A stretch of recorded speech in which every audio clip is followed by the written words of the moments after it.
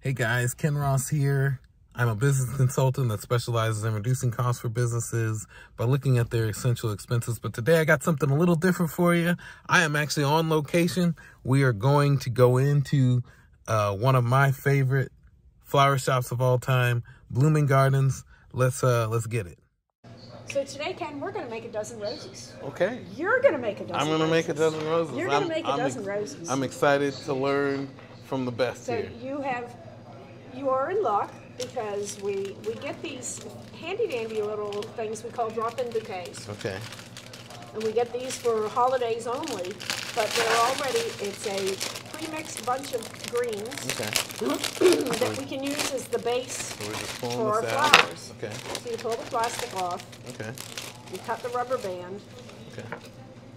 And then I gave you clippers, and then we cut the stems and give it about a two inch cut for this particular Okay. vase.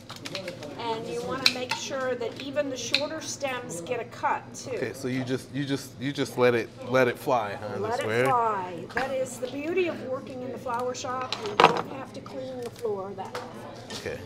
So All right. you drop it in. Hence the name drop-ins. Okay. Oh. All right. Nice. And, then I just- and you kind of fluff it and let the greens all fluff out so that it, it gives you a nice loose bouquet. okay. So something like like that. Kind of like that, but you have to fluff it a little bit more Okay. so it makes it nice and full. Okay. Okay. Then we'll add a little bit more fern just so that it gives it a little more shape and a little bit form. So what we do is we'll take the lower leaves off. Okay. We'll cut it not too terribly short. Okay. But we add a couple of pieces in the middle, and you can use the clippers or you can use the knife. Some people are afraid Oh. of the knives, so You that's just- okay. Just clip it. Is it at an angle or? At an angle preferably. Okay. And the purpose you of the try- angle cut is to keep your green, your stem opening at a wider amount. Okay. So if you do a flat cut, then you've just got that little bit of surface for the water to come through. Okay. If you cut it at an angle, mm-hmm. then that's more of a surface for your water to come in. Okay. Yeah. So- Bigger surface area, better better for the plant. Exactly, better you for the can, flowers. Yeah, you can get more water to it. That's cool. All right. So the only thing is, is don't cut the stems Too, too, short? short Oh, okay. Just and at an angle. yeah. Even with the clippers, you can cut them at an angle. You don't have to turn it upside down. It's, Okay. Well, I, yeah. I guess I'm.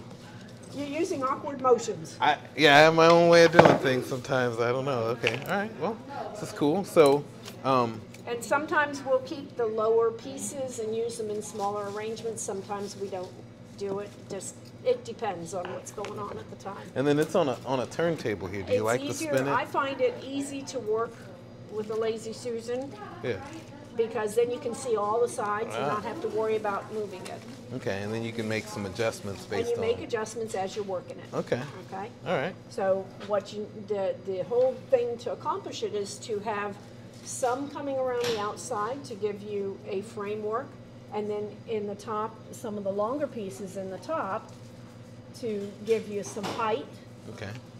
and more of a framework, So you need width and height. width and height. That's what we're looking exactly. for. Okay. So, so here's another piece we put in underneath.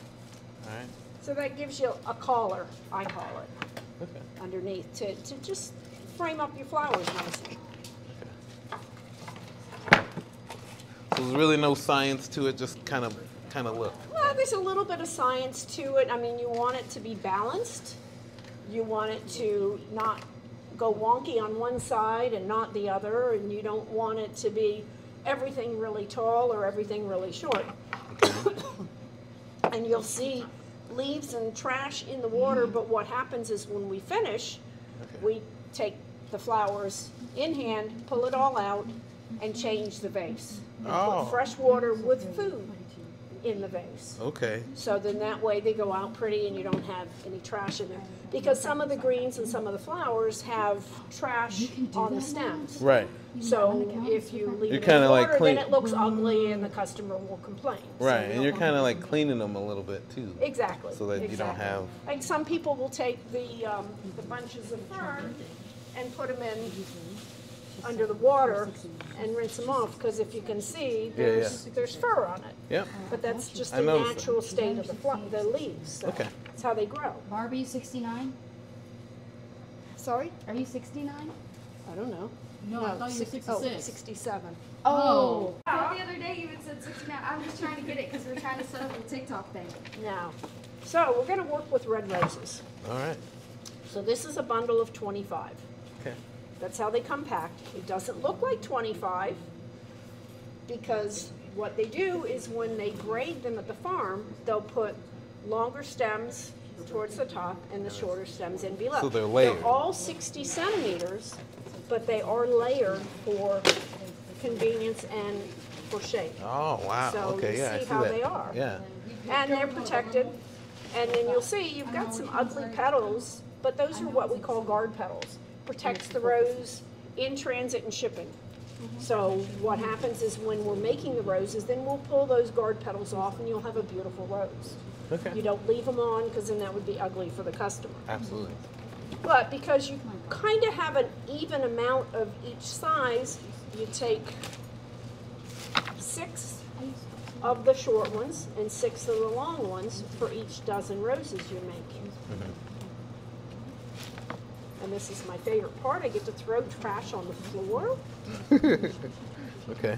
And then you said the there's 25, so there's an, so, so would that be there an extra one? There's always one extra one. Just in case you have a broken head. I'm not sure the whole science between why they do 25. Um, but I think a lot of it is just so that if something breaks, then you've got something to replace it. Yeah. Or that one, that extra one could be just for you, or That could Somebody be. that you love, Could right? be. So, Cool. so that's what we've got. Is we've got those. So Okay. Show you. So we go through and we'll take the 12 and the, the okay. six So and these six. are mine. Okay. Those are yours. Okay. Plus the one extra. Plus the one So you take your four short, or I mean your six short and your six long, Okay. and lay them out. And the easiest way to do it is put your shorts all together and your longs all together, so that you are okay with that. You've you've got them separated. Okay. So I think these are the short ones. I got three, seven there, and six here. So that's good, because I have the extra one. Okay, you've got the extra one. So you want to take that extra and put it to the side for now, Okay. so that you don't get it confused. All right. Put that one over here. And you don't end up putting it in there and then they end up with 13 roses and God forbid there's somebody that's superstitious and they have 13 and then they get upset. So Okay. All do So I got my short ones over here, my long ones over here. So what you start with is you'll take your take your short ones. Short use ones. your short ones first. All right. And you want to pull those ugly guard petals off. Okay. Check to see if you've got any thorns on there. Because you don't want to put thorns in there. If you put thorns in with this, Mm-hmm. it'll tear the know. greens up. And then it'll make more trash in your vase. Okay. So you don't want to do that, and Okay. it breaks them. Okay. So you want to pull them off, and you want to try and keep it as clean as you can because sometimes they they come through and you ha- leave a little bit of residue and it it's ugly. Okay. So then, if you have any broken leaves on that stem, you want to clean those off too because then that looks ugly too. Oh, okay. So it's, you're sending out a, a thing of beauty, so you want to make sure it's beautiful. Right. All these details Lots really of do matter. details. Do matter when it Yes, comes they to do. the appearance of what you're doing here. You can make a, a nice bouquet. You don't want. And yeah, you can lay it on, drop it on the floor. It's fine. Yeah. No, I, I've, Now- I've gotten that part. I've gotten Now, that part if you down. have things like this leaf is kind of funky and everything else, Okay. eh, just pull it off. Pull off it off. Okay. and pull it off at the stem because then that way that could break and then That's it right, makes it right? messy. Okay. No, no, All right. So I got the. I think I got the hang of this part. Maybe. Yeah.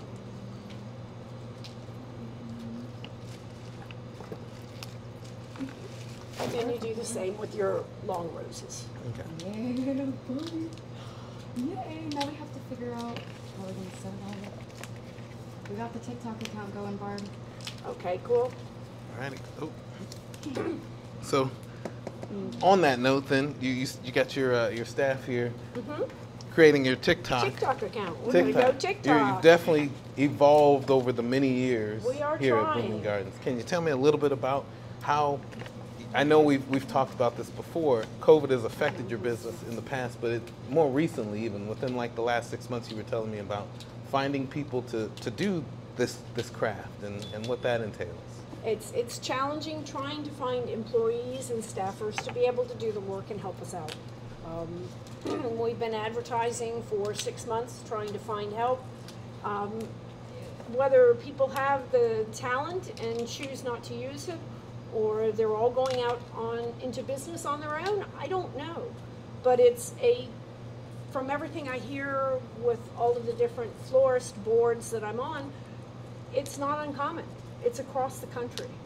Nobody can find experienced help. So countrywide, you're saying Countrywide. there is a, a pandemic of sorts of Uh, experienced florists. Experienced florists, That's designers. that's definitely kind of like the new pandemic. itself. sense. People Exactly, people talk about that e- even in different other industries too, and that's uh, that's that's been the trend. So But it's it's a been a, it's been a real challenge trying to get help, and unfortunately, or fortunately, I have learned to say no to things. Um, As I keep saying in all the meetings, um, if it's a holiday, get your order in early because I may have to tell you no, and and that has happened quite a bit. Is I have had to say no to regular customers, to new customers because I just can't get all the work completed without killing myself and killing my staff. absolutely, yeah, definitely. And, and we've got to be able to get the work done, and I don't want to cause a problem with the quality of the work because I can't get it physically done. yeah. So, Well, that's truly important. I'm glad that you recognize that because I think a lot of business owners they've been forced even to just shut down because they're like, I can't handle the work. I don't want to do this. It's not fun anymore, or I'm not passionate about it because of the stress yeah, it's, it's, it. it's stressful. And, and if I want to take time off, I have to close up, and which I have done mm-hmm. because I have Need breaks. things I want to do. I've got mm-hmm. things I have to do, so I need the break. I close up. I just make sure that it's a weekend where I don't have anything that is urgent, Okay. so that I work with my customers and help them out too. All right. Well, I'm catching up here. I got like three Yeah. more here. I'm trying. You're the you're the pro. I'm, While while we're waiting for you, I'm going to trade out. I have a couple of roses that I'm not real happy with the quality, okay. so I'm going to change them for others to have make sure that I have what I want for my customers. Okay. So, and how do you make that determination? Is it really just kind of like the look it's, of it? It's visual. Okay. It's strictly visual. Okay. Awesome. Okay. So I've got one, two, three, four that I'm not real happy with them. So we'll trade those four out and replace them with others. Okay.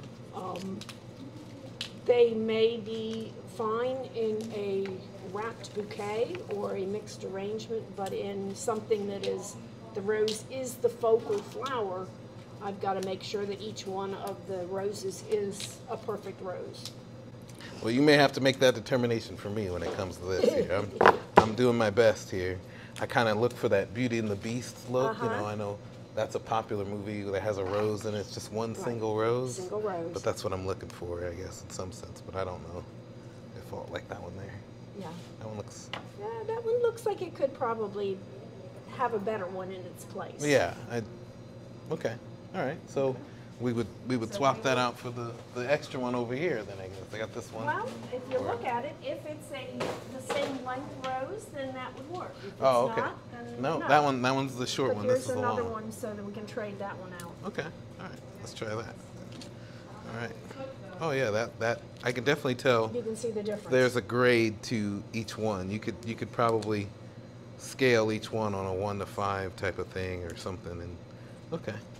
Oh, and then I don't know. There's this petal there like that. Is that how that works? Yeah, Okay. just clean it up, and make it pretty. Okay. And then the leaves like I. And they look nice. Okay. All right. Okay, you set with that? All right. I think I'm good. All right. So, So like, the- what's next? The next thing is what we do and, and what I do, and I find it easier for me and for people when I'm teaching them, is I'll take and I'll do the lower level first. So I'll take my short roses first, and sometimes what I'll do is I'll just set them so that they're all the same length, and then I will cut them all together. Okay. And You don't have to do it. I find it easy, and it's easy for a lot of people to follow me, is I'll take and I'll cut them all the same length, and I'll take them and put them in the vase, equidistant around, and that's part of the reason why I use the turntable, because it allows me to do that. And then how much how much are we gonna take off at the bottom? We're gonna take off about maybe a half inch. Okay. Well, not very much. And then you cut it at an angle. Uh-huh. And try to try to fire them this way instead of It doesn't towards- matter. We get stems flying, rubber bands flying, all kinds of stuff all the time. All right. So got them all the same length, and then I just So stick them in. So then you take them in around the outside, equidistance around.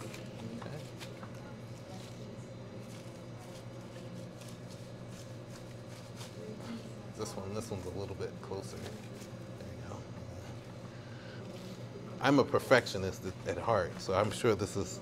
There's probably a better science to this. Um, at some point, I would, I would change my process. I'm sure. Okay, here we go. All right. This I mean, once here. you, you do it often enough, you develop a rhythm to it. Yeah. Like that. Yeah, not bad. Not bad. Okay. bad. Not bad for my Not first try. Yeah, yeah. Okay. So- So, this one's mine, and that one's yours, and uh, you'll spin it around just a little bit like that. It looks, it looks good for uh, for a college try there. So Definitely. then, then what we do, we have this fantastic stuff that's called leaf shine. Okay. It's, I call it hairspray for the flowers. Okay. It's not really what it does. Is it? The flowers all come in with a little bit of water. Um, you know, you get you get the mil- mineral residue on your house and on things at home. You get the same thing on the on the flowers and on the leaves. So it just it tweaks Shines it. them up, It yeah. just shines them up. It's it's the finisher. Okay. Gives it that nice, uh, nice fresh look even. Right. I love it. So that's what you do. Before I was rudely interrupted by my battery. I'm sure we missed some of it, but in general, we got it all sorted out here. We got the, the five in the middle, the longer stem, and then the six Correct. on the outside with the one in the center there. That's pretty Right. cool. And then you sprayed it, right? And I think I mm-hmm. got that Absolutely. part. And now we're gonna add. You said wax add- flower. This is called wax flower. Okay. It's it's on the same idea as baby's breath, but I like it better. It's a little bit more upscale. Okay. And it's just it's an accent. That's all it is. Is it's an accent. And, And you can you can use baby's breath or any other types of things. breath. I Are there other often have it. are there other things There are other use? things too. Okay. There's lots of stuff. So you just kind of add it in in, in different places, kind of um, take a couple disperse it around. Again, you want to keep your garbage off of the stems, so you want to clean your stems up, and you just kind of add it in in different places in the middle, Okay. so that it dresses up your flowers a little bit Say in between different ones and stuff. in between. Okay. All right. And if you've got little pieces of it, you can keep them for something else, a smaller flower arrangement. Okay. We try not to throw away too much. You don't really like to have too much trash Okay. um, because, as somebody who worked for me at one time said, every flower is money. Flowers equal money, right? Every money. flower. They all That's- cost money. Yeah. So Sort of like time is money. time is money too. Flowers. So I mean, we'll have little pieces like these. These we can use for other things. When we have a small vase arrangement or something short. yeah, and I see you got got a little container here on the we side keep a little where you just what we it. call huh? trash containers, so you can make a little trash arrangement out of it. Okay. I got a few in here. I need a, probably one right there. Take one. Do that. So I think mine is is pretty well done. Okay. Ooh. I think I might need one, one or two more somewhere. Right, maybe right there. No? Actually, you got. Let's see. You can do. And what you can do is you can move them around so that it disperses Oh, okay. it a little bit better. Yeah. So, Okay. okay. All right. Let's give you another piece for right down in the center, so don't cut too much off of it. All right. That and then just In right next to the big. in, in that in that spot right there. Okay. All your tickets with cards and charged. Thank you, dear. Mm-hmm. That looks perfect. Okay, so Alrighty. there we are. That that's So- pretty much it, and then you got to take it And take then, it out, Then right? what we do is we'll go ahead and get fresh vases, Okay. and and you don't have to do it that way, but it's easier sometimes. We'll fill them with water Okay. and put a squirt of flower food in it, and then we will take those ro- ro- roses, the whole piece, Mhm. without the vase, and drop it in a new vase. Okay.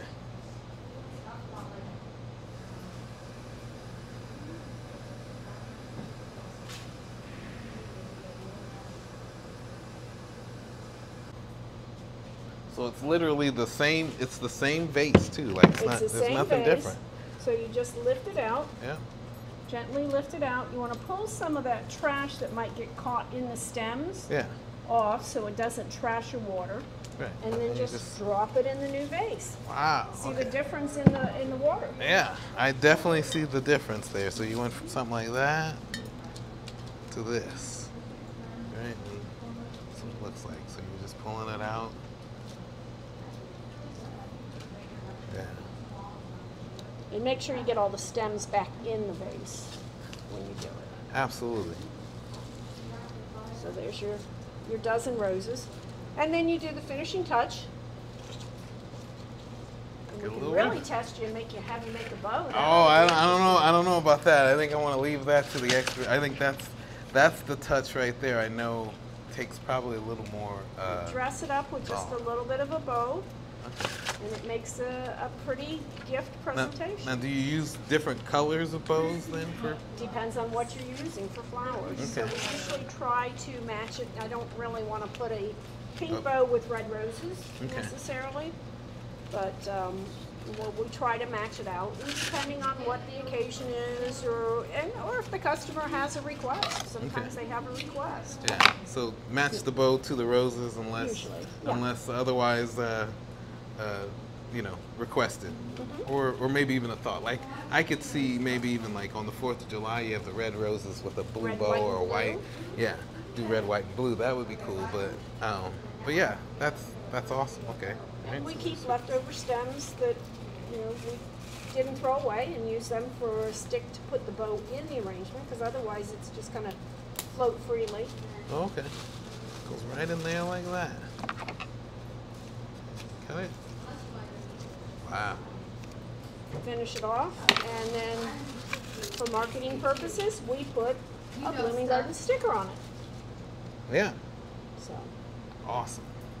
Well, I, So I really I really enjoyed that. This has been quite an experience to know kind of how things work when it comes to flower arrangements, the mm-hmm. different aspects of it. This is this has been wonderful. Cool. Thank you.